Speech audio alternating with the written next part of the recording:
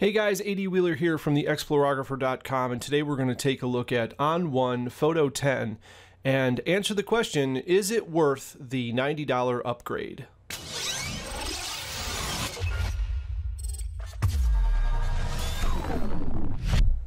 Okay, guys, I've been asked a lot over the last few days is ON1 Photo 10 really worth the upgrade price of like $90? Now, they're doing a special right now. I think there's only one day left actually till uh, November 13th, um, where you can get all sorts of video training and everything for free. So, uh, I would suggest that you check out the link in the description. Uh, if you want to upgrade, make sure you do that now so you can take advantage of that for sure. Um, so I have the browser loaded up right now. There's significant changes here. Uh, normally, uh, when a company does an upgrade, okay, they usually uh, do, you know, add features and they usually fix bugs, right? Well, they fixed the bugs in ON1 9.5 for sure. Uh, the memory footprint is much better now. Uh, it's much faster. But on top of all of that, they've added a bunch of new features. I think ON1 has really recognized that Adobe Lightroom has made some missteps lately. And, you know, there's this wide open door right now for a company to come through, right, and really steal that fire. Uh, so, you know, uh, a lot of people don't like the subscription deal with Adobe and all that. I, I, I don't mind it. I like it. I use it. Um, but I've also been, you know, kind of bitten by the Lightroom bug lately and the problems with uh, that we're seeing with, you know, them kind of making a hobbyist version out of it rather than a professional version. And I understand marketing and all that, but uh, it you can't go back. Develop a new product, develop another version, Lightroom Light. I don't know just throwing that out there. But uh, don't take away the professional features for us folks who rely on, you know, Lightroom for our, our workflow every day, right? So I still use Lightroom, but I'm really curious now more about the browse feature uh, in ON1 Photo 10 uh, because it doesn't use a catalog, right? What it does use is uh, your hard drives directly. And it, this makes it much quicker because it doesn't need to generate all the catalog stuff that Lightroom does. Now, it doesn't have all the immediate features that Lightroom has, but it does, they are adding more. And I think that uh, this single upgrade that they've done to Photo 10, to me, is worth the one-time fee of 90 bucks to upgrade, right? If you're a 9.5 user and you want to upgrade. Um, but this is, you know, this is to, up to you. I was going to show you around just a little bit uh, and show you what the uh, alternatives are here. Now you can you can add editing software to this just like Lightroom. Uh, you can do all these features.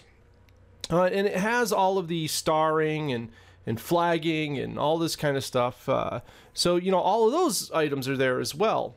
Uh, so you know I think that they're really making a play right now, uh, and it's it's really nice to see. So let's just take a photo here, uh, and I'm, I'm just kind of playing around with this for the first time with you guys. So I just wanted to show you kind of what's available. So they've taken like all the menus that used to be up here at the top and all this kind of stuff, and they've moved to these side menus. So they have a nice uh, open your desktop, open cloud drives. You can actually add Google Drive and Dropbox and uh, WeTransfer and all those those things. You can add those to the cloud sources, and then you can actually access those through this browser. I mean, super cool, right? Awesome stuff. Okay, so then we have over here on the right hand side, we have what we can actually do with this particular photo that I have selected. So um, obviously there's the whole uh, enhance package, the effects package, and then the, and the portraits package. Now I mostly use the effects package, I will tell you that. I used to use the portrait package all the time for my photo shoots when I was shooting models and, and that sort of stuff because the features are just ridiculously good. Uh, and for any portrait photographers out there, I'd highly recommend uh, the ON1 uh, for that because wow, uh, just made my life so much easier and uh, the presets were great and the the controllability and customizable uh, features that you could do with it is just off the hook great. All right, so say I want to just edit this photo. So I'm just going to hit the effects button here. It's going to give me all these regular options. You know, you can edit it as layers. You can do a smart photo, which means it saves it as a PSD, which is really cool. Um, and you can set your resolutions and all that kind of stuff. I do edit in Pro Photo, so um, and you can also turn this dialog off once you have it set but I'm going to edit a copy. So it's going to make a copy just like Lightroom does, and it's going to load up. Now, one thing you're going to notice here uh, is how fast this is. I mean, this is that's that's fast, guys. That's real time, right? Um, so they've changed a lot here as well. They've they've taken the bar that was at the top and kind of moved it over to the side, and you have all the the things like uh, the uh, add a bug, uh, a masking bug, and and uh, quick mask tools, and all of that stuff is still here. They've changed the uh, interface over on the right hand side now to add filters. Basically, I have my pr preset filter here. If I click that. Um, it'll apply that filter. Again, you notice it's pretty fast uh, and snappy. And then it stacks the filters over here, and it's just like layers in Photoshop. It stacks the layer, uh, the filter that you're working on first here at the bottom, and you can make controls there, and it only displays that what's going on at that particular time. So I can adjust the vibrance as you can see here. So I can do that. And then when I go into the second filter, this sunshine filter that I have here, then it stacks them. So everything below is turned on and so on. And I can kind of do all my control there and uh, adjust all of the scene that way. If I want to add another filter for more control, I just click on the add filter. Uh, that'll pop up this little window, which is really cool. I can click on the filter that I'd like to add and it pop, boom, right there. Um, it's just totally awesome. I'm, I'm really digging it. So um, if you have 9.5, you know that this is different. Very easy and adoptable though. If you you know you're gonna get right into it, uh, it's not gonna be difficult for you to figure out. Uh, and it's way faster. And okay, and of course, uh, the biggest thing for me is that we do not have to deal with the memory problems that we have in 9.5. No matter what I did in 9.5, I just couldn't seem to uh, get it to work very long without running out of memory. And I had 32 gigs installed, and it still would run out of memory no matter what. Um, Granted, I have more memory installed now, but I, I monitor it in the background and I really don't see the footprint that was there before. So I think they've really done a good job with that.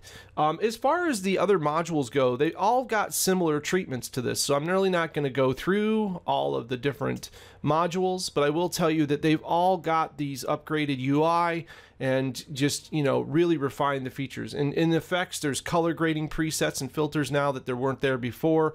It also should be worth noting, guys, that uh, I also have running uh, behind this Photoshop, and ON1 has integrated uh, itself into Photoshop in a much nicer manner now by actually putting entries on the filter member. Remember before uh, the older versions were over here under Automate, and now uh, they're over here under filters and that's really an awesome upgrade. So no better time than right now to grab yourself ON1 Photo 10. Is it worth it? Uh, absolutely. Uh, I give it five shutter releases or whatever I do for ratings. I'm really not sure.